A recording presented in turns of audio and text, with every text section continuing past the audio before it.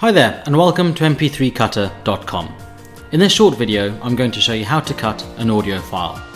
Let's start by uploading an audio file using the choose file button right here. As you can see, audio plays automatically. You can pause it using this button. This is a waveform of my audio file. It can help you identify interesting points to cut. To select the start and end position for my trim, I just simply drag these sliders, and it automatically starts playing from the new position to help me verify the position. You can also enter a start and end time manually using these input fields. If you wish the audio to fade in or out, simply select these fade in out options. And if you wish you can also convert audio file format using these options. When you're done, simply click on the cut button here.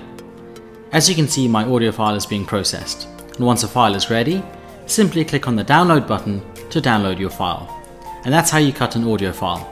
Thank you for watching and we hope you enjoy this free MP3 cutter.